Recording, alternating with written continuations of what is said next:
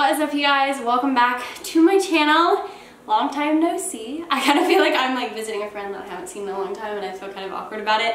Um, I've now been off YouTube for about two weeks and I feel really bad about it. I don't know why it took this long for me to get back on camera.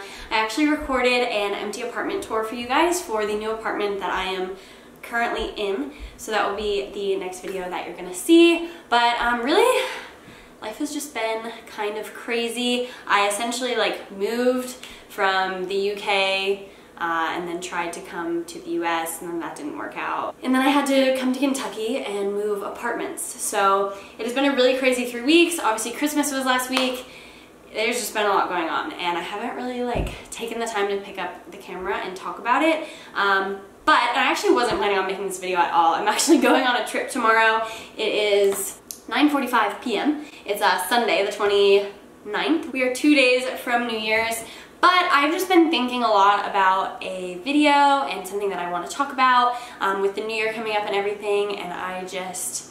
I don't know, I just feel like I need to do it. I feel like I need to make this video. So um, I'm sitting down, I should be packing, but I'm gonna sit down and do it. Uh, and yeah, basically every year we all make, you know, we all make New Year's resolutions and a lot of times they're around fitness and they're around dieting and you know a healthier lifestyle and all kinds of good stuff like that. If that's you, um, I have an app, it's called Body by Britt, and I do a 12 week plan as well as one-on-one -on -one personalized coaching and I am running a discount on it right now so if you use code New Year's Eve NYE 2020 uh, you will get a discount on my plans. That's always the first link down in my description if you guys want to check it out. If you know your New Year's resolution is to get back in the gym and start living a healthier lifestyle, that's amazing, that's awesome. I'm really loving working with my Body by Britt girls right now and like really creating goals for them for 2020 and I'm having a lot of fun with it. And on Sundays, my BBB girls, we have a FaceTime. So if you sign up for one-on-one -on -one personalized coaching, we FaceTime every single Sunday separately. We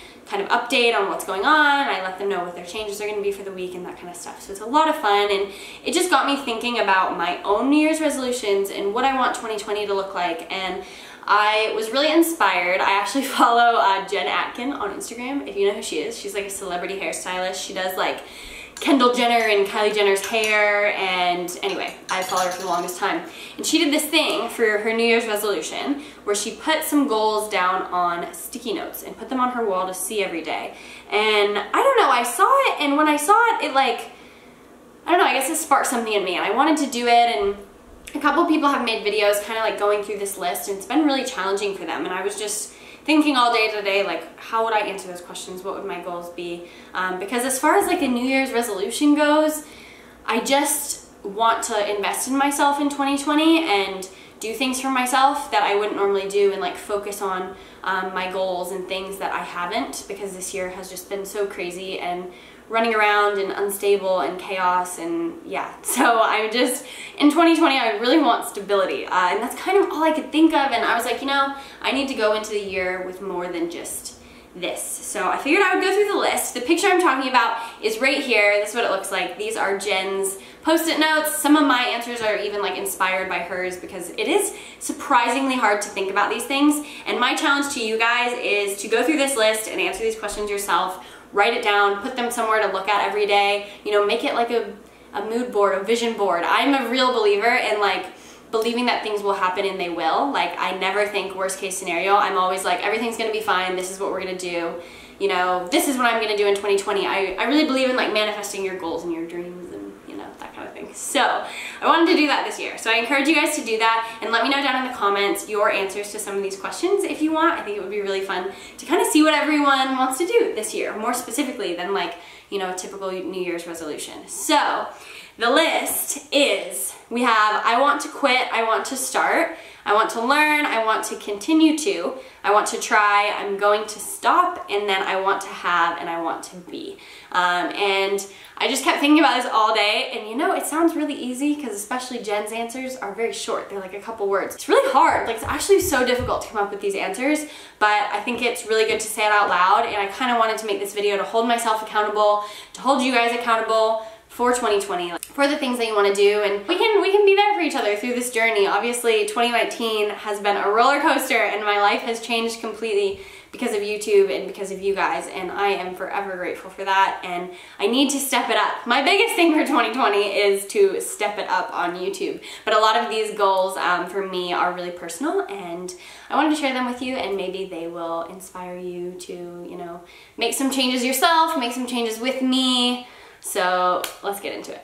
Number one is I want to quit. So for me, this is gonna kind of sound weird um, coming out of my mouth, but I promise I'll explain. So I want to quit putting everyone and everything else before myself. And that sounds bad because, you know, we learn put others first. That's so important. I always think you should put others first, but I am the queen of dropping everything for anyone who needs anything at any time, regardless of what my priorities are and my goals are and um, the things that I need to do are. I'm, and it's hard because it's a blessing and a curse. Like it's a blessing because I love to give. I want to do everything for everyone. Um, but the problem is I do so much that I sometimes forget about myself and I sometimes forget about the things that I need to do and I don't prioritize those things. So I want to quit putting everything before me. I want to I want to focus on myself a little bit more. Okay, so the lovely camera cut me off. But yeah, that's just kind of what I need to do in 2020. I need to focus on some of my goals and do what I have to do to accomplish them and put that first and make it a priority. It's not even so much as like putting myself before others. I think it's just making myself a priority. It's making my own goals more of a priority um, and the things that I want to do regardless of what other people like think or need. You know what I mean? So that's my number one. Number two is I want to start. So I want to start, this is kind of vague, but I want to start being more social. Um, as somebody who works from home now and I don't have like an office to go to during the day, I have been in the position where I went to an office every day and I traveled for work a lot and I was always in like social situations and corporate situations and things and I met so many different people and I learned so much and even when I lived in Boston, um, it's a Boston's like a very social city like no matter what you do, who you meet, it's always like, let's go grab a drink, let's go grab a coffee, let's go grab lunch. Like you're always kind of out of the house. In Boston, it's just go, go, go. And I was so used to that in college and after college and ever since I started working from home full time and doing YouTube full time, I feel like I, I don't do as much, like I don't, I don't try as many things or put myself in a lot of social situations and well, all of it is completely my fault. I'm a lot more nervous than I used to be in social situations because I'm not used to it. It's just like going to the gym. Like the more you do it, the more comfortable you are doing it being in social situations, the more you do it, the more comfortable you are. And I find myself a lot more anxious around new people now and really nervous to like meet people um, because I just spend so much time by myself and so much time like alone and talking to a camera instead of other people and things like that. So yeah, that's, I, I want to start being social. I want to go to events that I get invited to and challenge myself to like go to a class or you know, something as simple as just like starting a conversation and not being afraid to and just putting myself in more situations where I can grow and I can meet new people and I can learn from them. Yeah, that's what I want to start. so, all right, I want to learn. I want to learn to see people for who they are. And this is kind of like a wide one, but my mom always says, and she always has said, when people show you who they are, believe them. And that came to me in this, in the I want to learn, because I have a very bad habit of only seeing the best in people and ignoring the worst. And I experienced this so much when I lived in the UK and it was so disappointing and um, that's kind of what sparked this is when I lived there, there were a lot of people who I only saw their good intentions or I thought they were good intentions. Um, I'll just flat out. There were a lot of girls that I thought were or would be my friends um, in the UK and it turned out at the end of the day that that wasn't their intention at all and they were essentially trying to just be a part of my life for like their own gain. And looking back at that experience this year and those people, I literally like, I should have seen the red flags. Like through conversations with these people, more than once they showed me who they were. And I think I purposely tried to ignore it because I wanted to have friends and I only saw the good. I chose to only see the good in them instead of, you know, consider that they may have bad intentions. And the first time they showed me what their intentions were, I should have paid attention. I should have listened and I should have said, you know, this isn't the kind of thing that I need in my life. But I chose to not see that. And I learned a lot from it um, this year. And it was the first year that I ever experienced that. Anyone like trying to be my friend for a reason that other, that just wasn't other than being my friend. I never experienced that. I didn't understand that people could actually do that, so I just chose to ignore the signs. So in 2020, I want to see the signs. I want to, when I see, you know, the kind of person somebody is or what their intentions are, I just want to listen. Like I want to know myself enough and trust my intuition enough that I just pay attention to that feeling and I don't let anyone take advantage of me because I see the best in them when maybe I shouldn't always, you know what I mean? So that is what I want to learn. That is hard to learn. I think you have to like learn yourself and learn your intuition to be able to do that. So I want to learn that and I want to continue to help that's literally what I have. I want to help. I want to help um, up until this year, actually. I have gone to Haiti every single year on mission trips and volunteered there, and it really is the one thing that makes my heart feel so, so full in the world. And I just know that part of my purpose is to be in Haiti and help those people and spread love and spread joy there. And this year we weren't able to go because there was a lot of rioting um, at the border and the flights that were supposed to be going to Haiti actually all got canceled um, and we weren't even allowed to go because it was like a security risk. So I didn't get to go and I really want to go in 2020 and even if I don't get to go to Haiti, even if it's not that, I just want to find ways to give. Like for me, giving is what makes me feel the best. Like that's why I love Christmas, I love birthdays, I love surprising people giving gifts is my love language. Like I just love that. That's how I show you that I love you is I buy you the things that you want or need or didn't even know that you wanted. I love that reaction of like somebody being excited that they got something. Um, yeah, or just surprising someone. Like that fills me up with so so much joy. So I want to do more of that in 2020. I want to give more of my time, of the things that I have, if I can in any way. And like my, my brother, for example, works with uh, a really, really wonderful foundation in New Albany, Indiana. They're called uh, Hope and they provide for their community in all kinds of different ways. And I really want to volunteer there in 2020, not only to support him, but to support people who need it and um, support yeah, what they're doing because it's really, really amazing. Um, so yeah, so I want to, I want to help.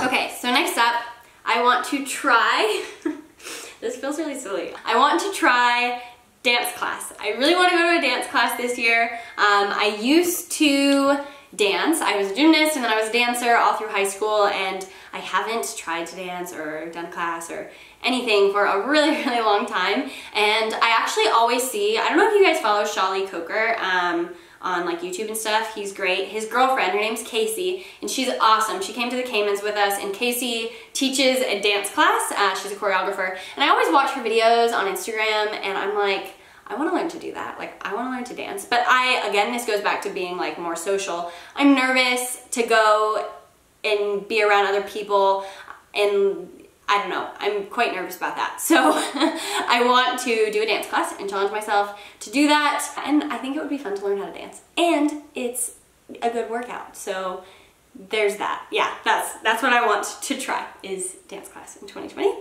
And I am going to stop, this is kind of a big one, I'm going to stop being so quiet about my goals just because I'm a little afraid of them. And I've kind of figured this out in the past couple of weeks how kind of quiet I am about the things that I want to do with my life, especially the big things. And I just kind of internalize them and I don't say them out loud and that's I think another reason why I want to make this video. I think I'm actively going to stop doing this thing by making this video. I think I'm taking a step toward keeping this and doing it. Um, because I kind of find that, like, even when I was with my family over Christmas, they were all kind of like, what are you doing in 2020? Like, what's your plan? Are you gonna compete? Are you gonna, you know, do YouTube? Are you gonna do this? Are you gonna do that? Like, my dad, who I don't see very often, even was like, are you gonna get a different job? Like, what are you gonna do? What's your plan? And I'm like, no, I'm not gonna get a different job. I wanna do YouTube. I want to do it up on YouTube. I wanna make all kinds of videos. I wanna make videos that make me happy. I want to nationally qualify in 2020. My goal is to nationally qualify in 2020. I do not think that 2020 is my pro card year. Um, I'm not I'm not ready to say that out loud. I would love to get my pro card, but I'm not ready to say that. I want to nationally qualify in 2020. And no one knows that I want to do that because I don't talk about it.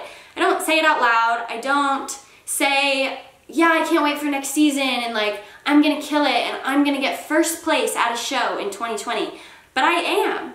That's my goal. I will get on stage, I will be amazing, and I will kill my prep and I will get first place. I will get a trophy in 2020. I will get a gold medal and I won't stop until I do.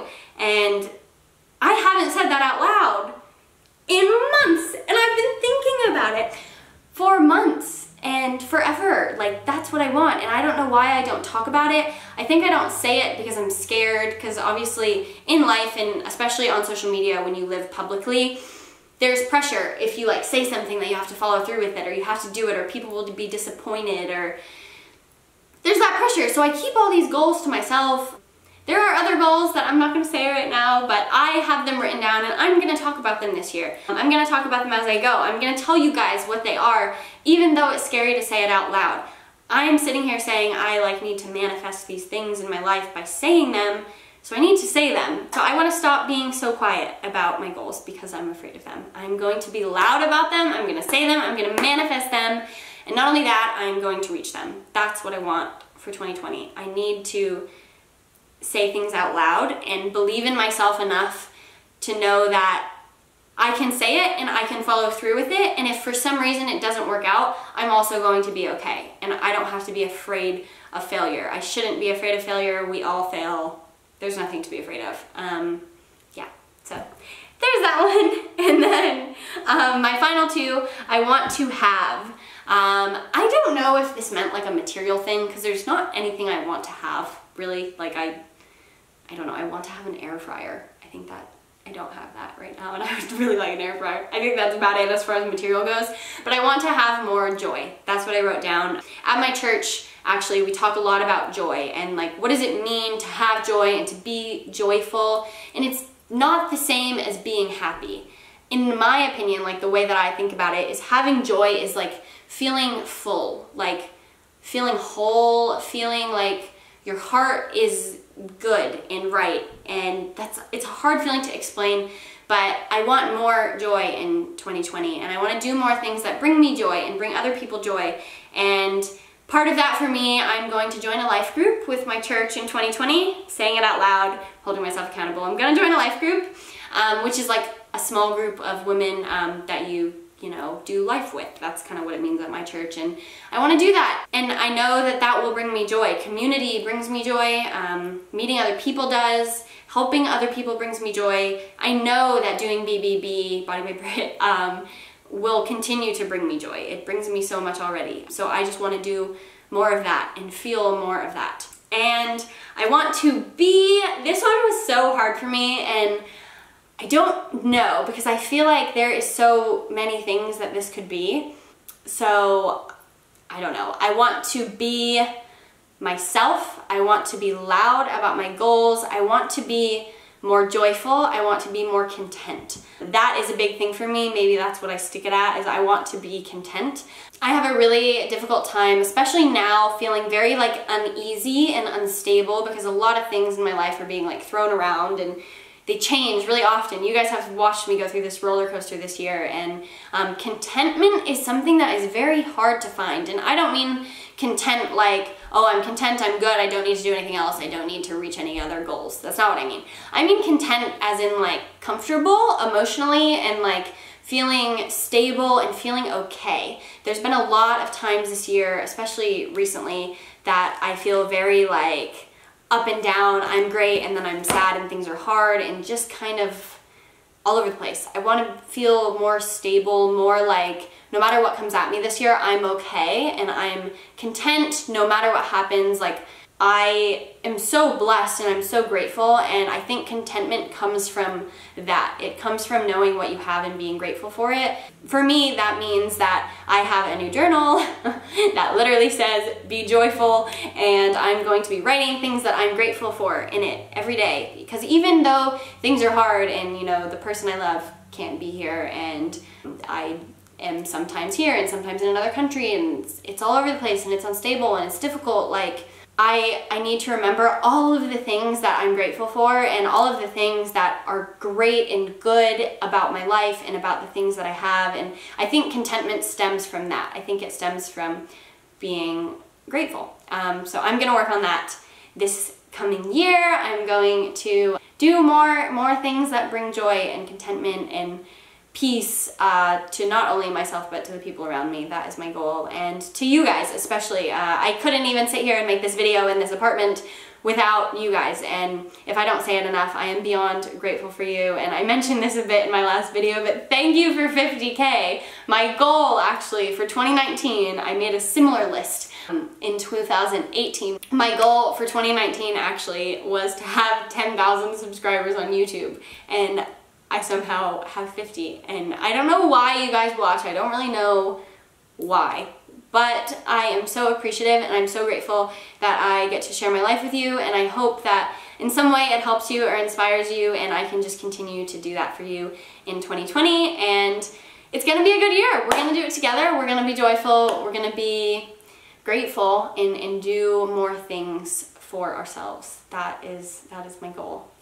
2020. So I hope you guys enjoyed this video. Uh, I challenge you to do the same thing. Make a list, share in the comments, you know, the things that you want to do in your goals for 2020. Say them out loud, make them real. Um, and that's what I'm going to be doing. So watch out for that. Uh, and I'm going to go pack now because I need to pack. I have a big trip coming up tomorrow. So so happy new year to all of you. I hope it is an incredible start to the new year and I hope it's everything that you want it to. So thank you guys for watching. As always, I love you so much and I will see you in the next one.